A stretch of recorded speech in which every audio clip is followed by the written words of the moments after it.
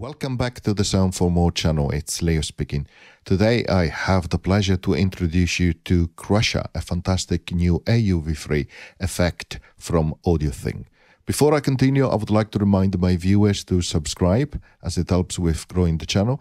And also, if you would like to participate in the giveaway and have the possibility to own a copy of Crusher, please do follow the instruction in the video description. Thank you very much.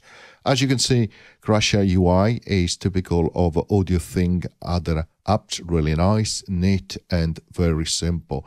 So let's go through the controls very quickly because they are very simple and then uh, we'll uh, put it into practice. So starting from the top here, you have uh, the selection of preset. So you have a number of preset which come with the app. You have factory banks and also preset banks. That's nice and simple. You can save a preset, delete a preset, randomize as well. And you know you can also lock parameters as you move between uh, presets. So standard controls really uh, for all the AudioThing apps. Here you have a, a, access to a menu where you can do soft clipping. Of course, you can uh, also do a local parameter, local parameter. You can do preset copy and paste uh, access to online manual and about again standard controls and options uh, from the main menu of all the other um, AudioThing apps. And here you can bypass the uh, app if you would like so. Up here you have a representation of um, um, visual representations which you can use and display that you can use to actually select uh, your frequency here horizontally and also the resonance vertically. You can see also uh, the, two dials underneath uh, changing accordingly the cutoff frequency and the resonance as well. You can enable or disable the filter because the app is a filter plus a uh, Bit Crusher, of course. And here you can decide what type of filter you want, a low pass 2-4 poles, a high pass 2-4 poles, a band pass two or four poles, and then a notch, two or four poles. Uh, you can set the uh, filter to be pre or post the crusher as well. You can then change the cutoff frequency, the resonance, and the output. Next, you can enable the crusher on and off like that. You can decide to reduce the number of bits here, the reduce the sample rate here, and then you can introduce some harshness, some harmonic distortion really, and then you have your dry wet effect here as well. Okay, so well, let at the moment I have uh, um, configured it to be an effect of an audio uh, track where I have a simple file which is being pre-generated, which now I show you what it sounds like without, of course, the effect.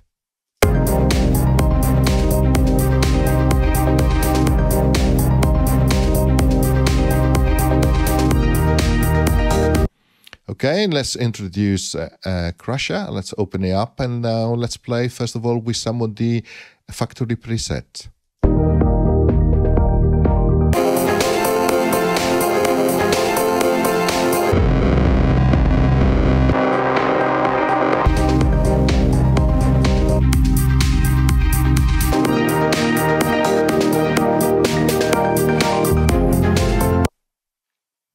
And now let's uh, go. Now that we are back to the init preset, let's play a little bit with the different type of filter to uh, show you the differences really.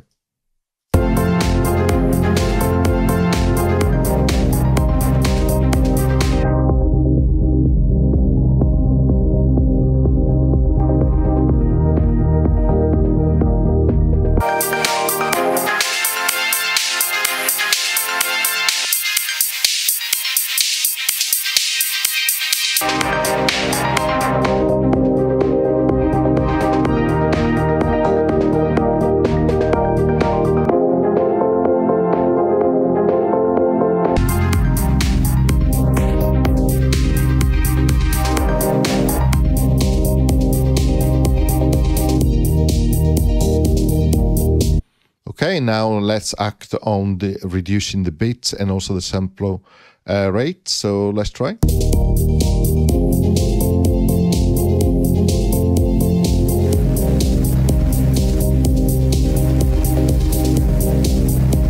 Let me show you what happens pre and post here.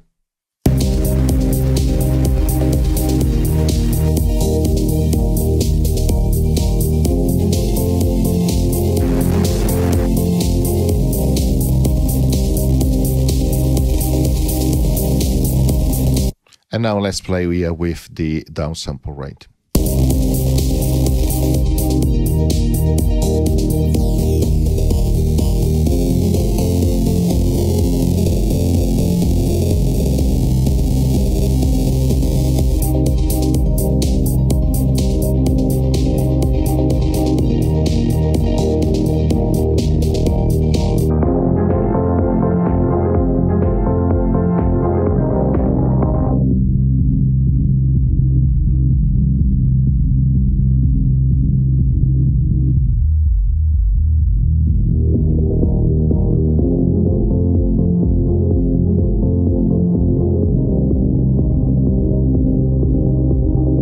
Okay, so um, the app also come with a number of uh, uh, parameters which are exposed as an audio unit. And what I really like to actually use in this case is to create a MIDI track and uh, bring up a NuRack, which I think is another nice app which um, is ideal in this case actually to manipulate some of the parameters inside um, Crusher. So let's go inside the NuRack and this is not a tutorial for NuRack, but let's edit the UI and click on the plus here, sign, add some MIDI and why not? A MIDI CC um, generator here we set the CC 1 to 0 and the second one to 1 like so we exit here and um, let's come out from this and make some adjustment like so. Let's go to AUM here. Let's select MIDI control and set as a MIDI source the NuRack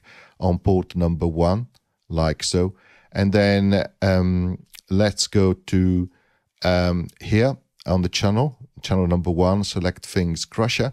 And now let's scroll down. Let's say for example on cutoff we're going to activate it for CC0 and on resonance we are going to activate E4CC number one.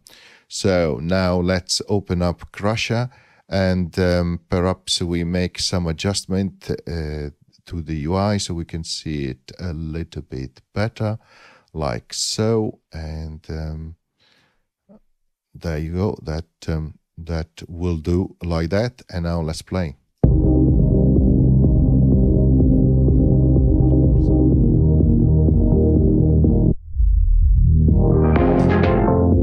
So you can see I can change the cutoff frequency here.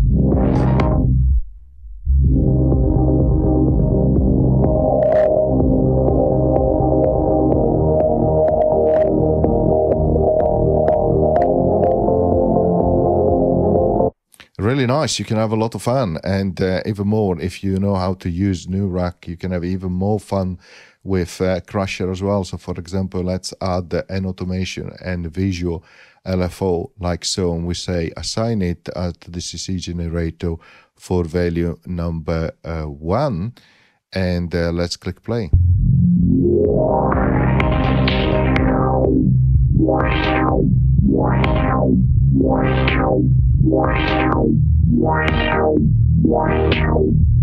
So you can see in this case the LFO is manipulating or altering the value here, value number one for CC1, which is linked to the cutoff here. So a nice way to actually do automated modulation on AU parameters, in this case from Crusher.